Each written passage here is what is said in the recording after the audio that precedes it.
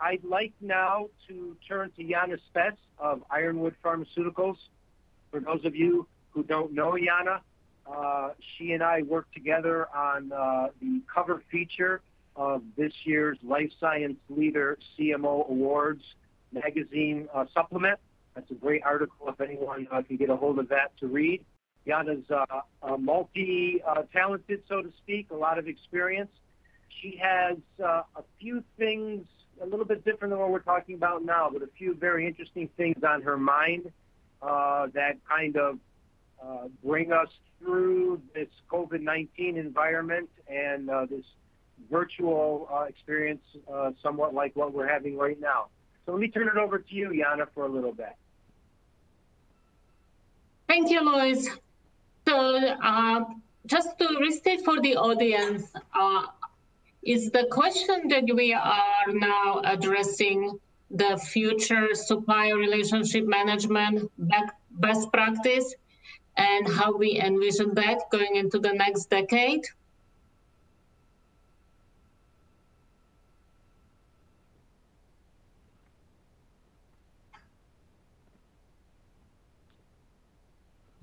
You still there, Jana? Yes.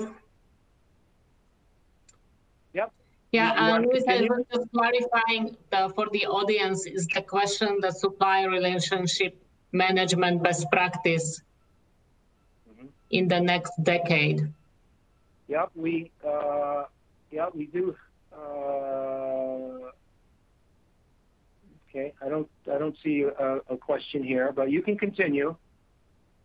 Yeah, it's the first one of the submitted ones, Louis. Yeah. Uh, Okay, so as um, as someone who represents a small virtual development company, and and you can find many of them in uh, Boston area where I am based, or on the West Coast, or in other parts of the U.S. Companies that have a virtual development model, meaning that we do not have any in-house labs, we do not have any in-house manufacturing we are really uh, dependent on the CDMOs and um, are very uh, interested in making the, the relationship and the ways we work together going forward uh, the more efficient and effective. So what I would say uh, I see happening is what I would call technology-aided transparency. We are transitioning to a world where the travel is uh, limited and unlikely will come back to us to the same levels as uh, prior to 2020. So we are continuing relationships and we are starting relationship with CDMOs that we never met face to face. And um, pretty much everyone must have an experience that the relationship aspect of large contracts and pharmaceutical development are quite important. The, the development always has twists and turns and challenges. So uh, building these relationships without face-to-face interaction, I think is going to be interesting challenge. And we are starting to build some models and relying heavily on technology. For example, leading by example using um, uh, video conferencing. So oftentimes it's us, small company that uh, encourages large CDMOs. Please use your cameras, get on the video, make sure that we all can see each other and at least form the relationship this way. Uh, we're going to be using a lot more virtual reality in lieu of actually traveling to the sites and seeing our processes and see how our product is being made. We are switching our steering committees also to, to the, with the aid of the technology. Um, so they can becoming virtual steering uh, committees. And we will be relying a lot more on um, common agreements and understanding for the business continuity rules. Yeah.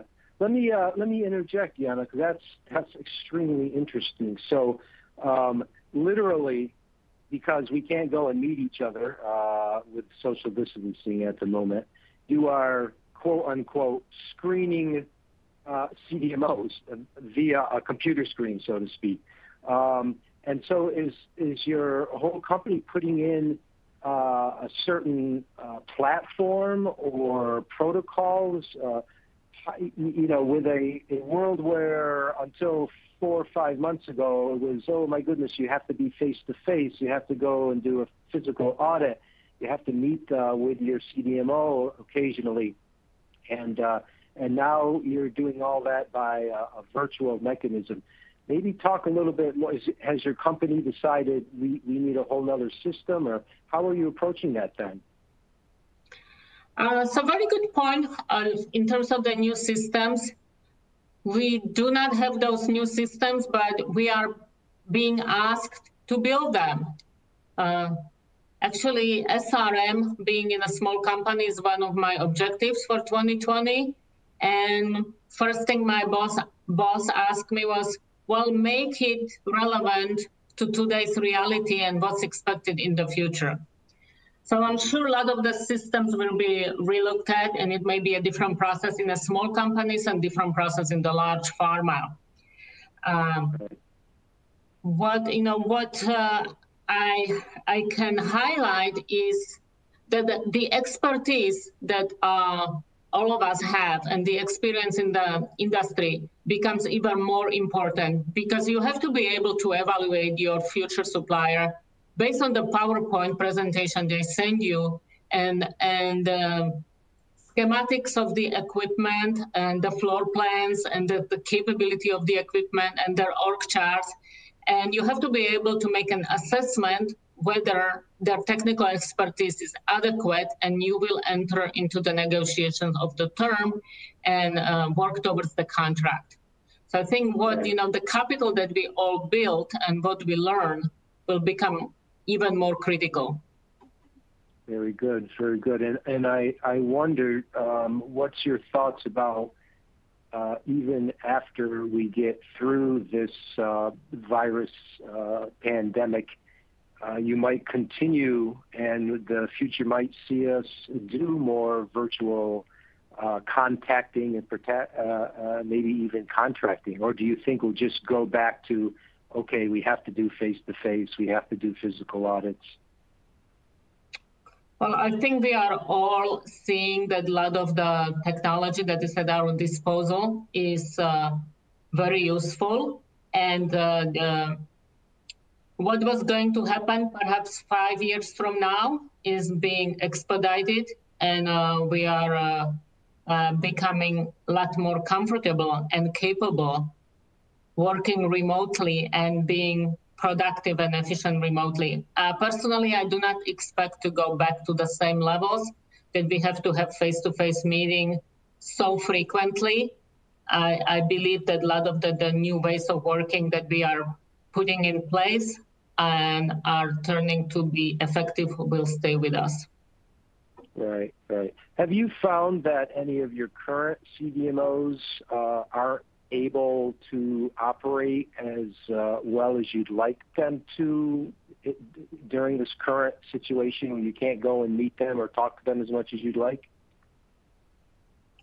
I, I have a, uh, in net current network. I have worked with the CDMOs that are that are adapted um, exceptionally well, um, and they employ a mix of uh, working from home for the office functions and some distancing in the lab, uh, new ways of working in the laboratories. And none of our projects actually suffered uh, any delay or, or any gaps. So I think it uh, depends on, um, of course, on the company, from company to the company. Uh, however, it's um, it's in the business model of the CDMOs to be adaptable and to work the best what the customer needs. And many of them seem they are demonstrating that they can do it quite seamlessly. Good. That's very good. That's good to hear for the entire industry